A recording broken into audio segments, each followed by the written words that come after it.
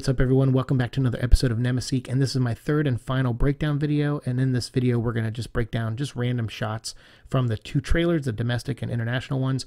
And these are shots that just didn't fit in my previous two videos.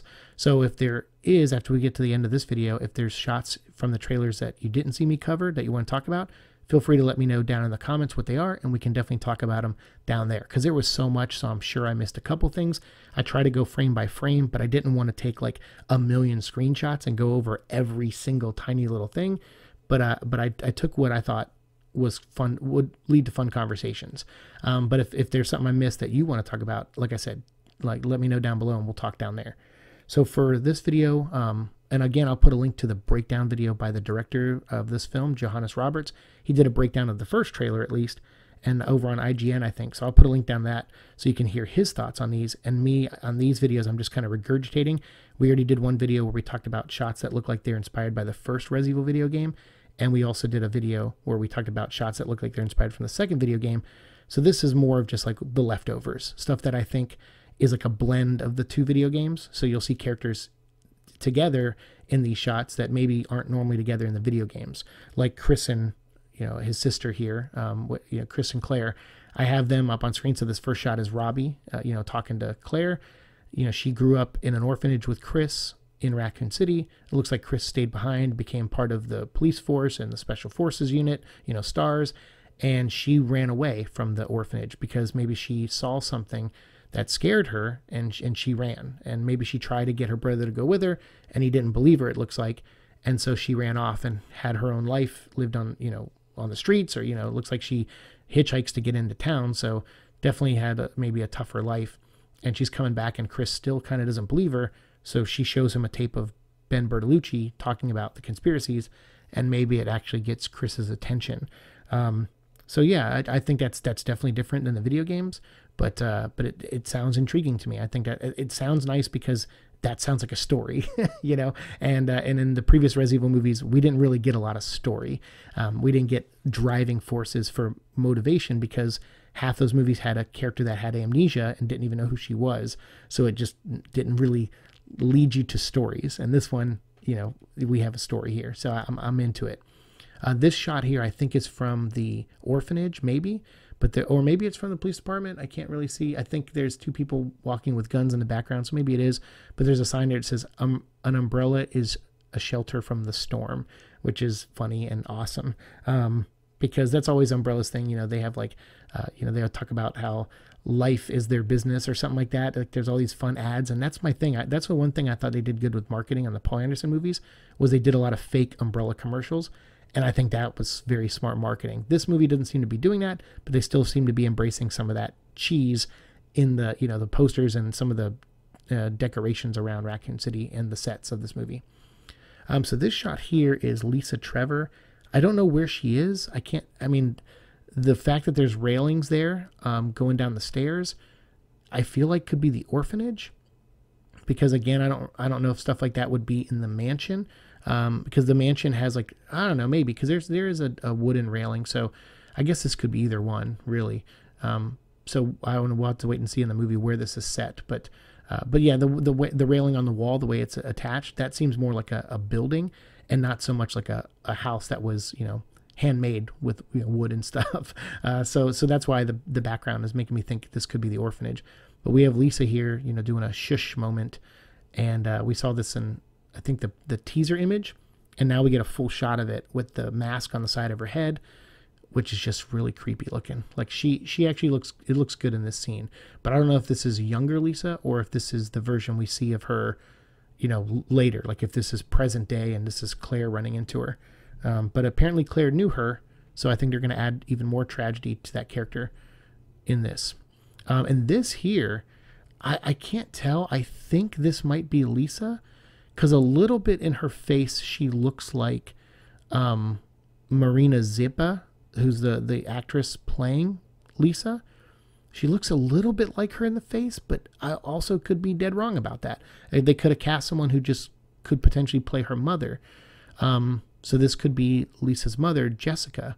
And the only reason I think that is because I think there's a file in the trailer, and I don't know if I have a screenshot of it. So if I do, we'll talk about it. But um, there's a the shot in the trailer where you see the journal and it says Lisa Trevor on the journal, um, and like subject Lisa Trevor, and it says, you know, we experimented on her on her and also on Jay, um, you know, Jay Trevor. So that would be Jessica Trevor.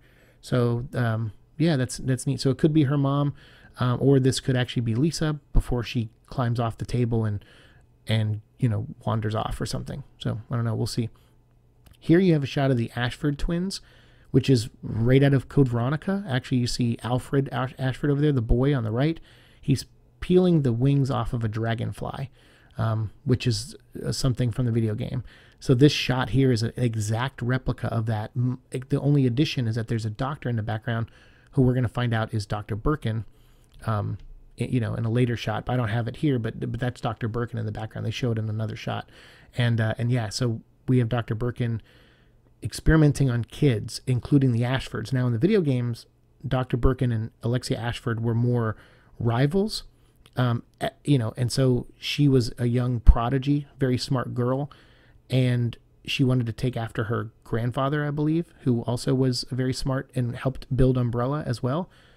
So I don't know what the connection is here, like how Birkin and her could be in this room together. Um, I don't know. We'll see. I mean, if they set up Alexia in this movie, which it seems like that's what they're doing with this shot, is that these are two other kids that were experimented on, uh, or maybe Birkin is just talking to them, interviewing them, figuring them out, and maybe he says, "Yeah, I think they'll they'll be great. You know, they'll be you know we would love to have them as part of Umbrella or something." Or maybe he experiments on them, and and then and they tease Alexia the monster, the T Veronica virus, at the end of this movie. Who knows? It's it's it's it's there's so many possibilities, but to fit this into this story is like god dang did you not have enough to work with when you made when you combined the first two video games now we have Resident Evil 3 and Code Veronica references in this so that's what I'm a little worried about. Is I just didn't know there was going to be this much lore and, and hints in this movie. It seems like this director tried to fit it all in, and that could be good or it could be very very bad. We'll have to find out. But then we have this reference, which is a reference to Resident Evil One, but it's Claire finding it. So there's this shot here of this uh, window because um, you can tell because like Claire's like she's like in some some kind of apartment or hotel room and someone wrote in blood itchy tasty on the wall. I think it's the zombie that is about to break in. I don't know why they would write that. Um, obviously it's a reference to the video game so it's a meta reference but i don't know why the zombie would maybe maybe because i mean that's the thing in the in the video game is that they show in the journals is that when people are infected they don't turn into a zombie right away you know typically uh, unless they're bitten and they die from the bite you know if it's like a very fatal bite they'll die and then they'll come back a little while later but if the ones who were first infected when the outbreak happened at the Arklay mansion, they got sick for a couple days and their mind slowly deteriorated. So that's why in the journals you'll see some of the people writing the journals and they'll say like, you know, I did this today, and they're talking in full sentences, and then the next day it's like, uh, me am hungry, and you're like, what? And then the final page will say itchy, tasty, you know. So they, it's the deterioration of their brain. So Maybe that's why is this person is watching Claire and writing Itchy Tasty, and then their mind snaps finally after they spell that, and then they go into full zombie mode. So that is in keeping with the lore of the games. Not that that's important to me for the movie,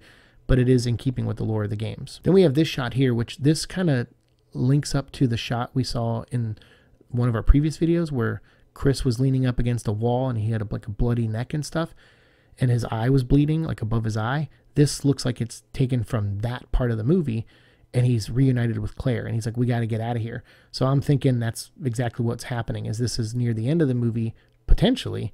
Um, even though Claire doesn't look nearly as disheveled as he does, so she doesn't look like she's been through as much crap as he has. Um, but I, I'm thinking it's still this is near the end of the movie. So yeah, but somehow she just still has like really great hair, and he he looks like he's been he got his butt kicked. Um, so yeah, uh, that's cool because that's very Code Veronica too. Is like them working together, uh, you know, and rescuing each other. That's straight out of Code Veronica. So that's why I wanted to put it here too. Um, and then we just got a cool image here of the the logo. Like I just I wanted to include this because normally I would make a whole video on it. Uh, typically, if I was doing the Venom vlog, I would make a whole video on the logo. But uh, but here I just like ah, it's a good place to put it at the end um, because it's the it's very similar font to the video game, the the Resident Evil, but the way they splash the blood in it looks really great. Um, yeah, I really like that. And currently there is a fan art contest going on, And this is the information. I'll put it up here and I'll also flash some of the images that I took off Instagram earlier because the Sony account and the Talenthouse account were already sharing these. And Talenthouse, they've worked with Sony before on the Venom movie and they did a Venom movie contest. So if you're an artist out there and you want to try to get a, a poster in before the movie comes out, this is your chance to use it, you know, to, to put your art uh, to the test and, and submit it because uh, they do use these posters. I mean, uh, two Venom movies have proven to me that these posters get shown around a lot, uh, definitely for marketing stuff. And when they do like premieres in different countries, they show the artwork off.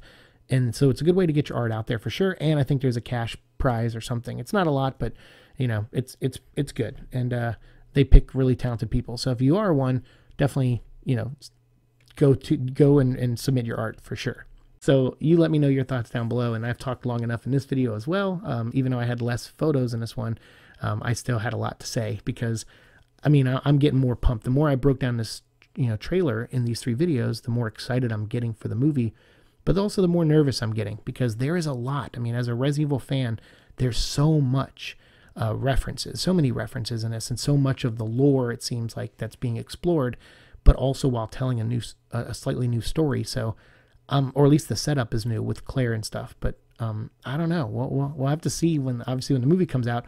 But I'm intrigued. I know some people like out there are just hating on this. They you know everything they see, they're like it's it's bad, it's bad, whatever. And there are people out there that are just loving everything they see. I would say I'm I'm liking. I'm I'm more positive than negative for sure. But there are some some things I'm critical of with the CG but I'm also just like I said, I play Res Evil for the story. Like, and not that it has the most amazing story, but I get really sucked into the world. Uh, like I said in a previous video, when I'm when stuff is rendering, and you know, when I'm rendering videos, I'll edit for like an hour or two and put all the photos in and put all the stuff in, and then it's rendering, and it might take like 30 minutes or an hour to render. I know if I go lay down in my bed and close my eyes, I'm gonna fall asleep uh, which is probably good for my health. I should do that. But some days I'm like, no, I want to start the next video as soon as this one's done. So to keep me awake and active, I'll pull out my Switch uh, and I'll play Resident Evil 1 Remake handheld, you know, like uh, just here at my computer. And I just, I love Resident Evil so much. It's, it's such a fun world to visit and and involve myself with and uh, you know the community the fandom I, I, I dip in and out of um, I, I think this doing this show and hitting 80 plus episodes is the most active I've ever been in a in a fandom of Resident Evil because normally I sit on the sidelines and just watch what people say about it and I don't interact as much but um, it's nice doing this and, and, meeting a lot of you, even the ones who disagree with me. So if you do disagree with me on this movie, if you don't have the excitement I have, um, or you know if you're just hating on it for whatever reason and i'm not going to label people as haters. I, th- I think i've learned my lesson with people who are critical of this movie. You know some of i know all of you are coming from a good place. You're coming from a, a place of of a fan and that's always good and i shouldn't really ostracize a fan uh, because they think differently than me. Um, so I think I, I, got a good wake up call there with with some of you out there who who you know checked me, and I think that's good uh, for for me particular, um, and for conversation in general. I like talking about this stuff, and even if we don't agree on this movie, I think we would probably both agree on the games and how much we love the games. And so if that's the conversations we need to have, you know, in the comments, and then I'm all for focusing on the positive and the stuff we do agree on if you don't want to get into the stuff that we don't agree on. But if the stuff we don't agree on, I do want to hear your opinion still. So if you feel differently than I do on this, let me know down below. But for me, I, I had fun breaking this down over these three videos, and it's it's got me more excited for the movie than I was. Um, but I also wasn't negative on this movie ever. I just I've I have my concerns, I have my worries, but I, have always been optimistic about this movie, and I'm I'm still optimistic. I maybe even a little more so, uh, because I'm just intrigued on how they're going to make all this work, uh, or or how badly it's going to fall apart. I don't know. We'll see, but I won't know that until I see the final product. So you can bet your butt that on the day this comes out, November 24th, I'm off that day from work. I will be seeing it in the theater and I will get you my review, my spoiler free review, and my spoiler review up probably that weekend. So thank you so much. Hopefully, we'll get more promotional stuff and more things for this movie between now and then. I'm sure we will. So whenever that stuff comes out, I will definitely cover it. I'm sorry I take long breaks on this channel, but without major information and without me wanting to watch Resident Evil Last Chapter or diving into the comics, I've just like I'm taking a you know I, I do a lot. If you don't watch my main channel, I post like, you know, sometimes 10 or 12 videos a week on that channel and I work a full-time job and I was writing a novel up until recently. So I'm, I keep myself very busy. So that's why this channel just gets videos when I have time. Um, but, you know, as we get closer to this movie, I'll try to put out more stuff for y'all that are Resident Evil related.